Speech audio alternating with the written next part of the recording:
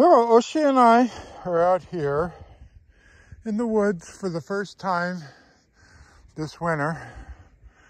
And uh, we are uh, making a path.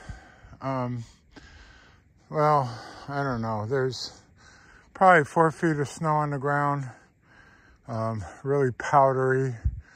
So I'm uh, using my snowshoes and I'm creating a path and then you can see the roll of electrical wire that I'm running down alongside the uh, the um, transfer line and I'm running this down to the collection station so we can power the electric station.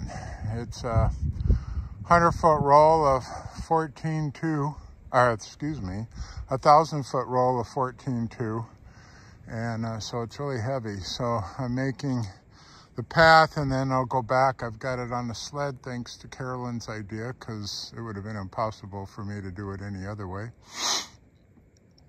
And uh, I'll go back and I'll bring it up here and we will uh, hopefully get down to the end today if I don't poop out beforehand because it's uh, a lot of high stepping and then stomping to get uh, get the snow somewhat level. So anyway, I got to go back up and get that uh, uh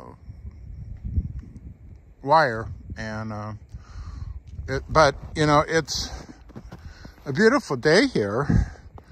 It's uh, probably in the 20s.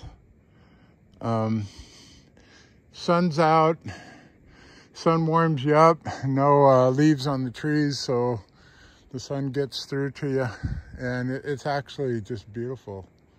Um, nice time to be out. Tomorrow's supposed to get about six inches of snow, so I'd like to get this done.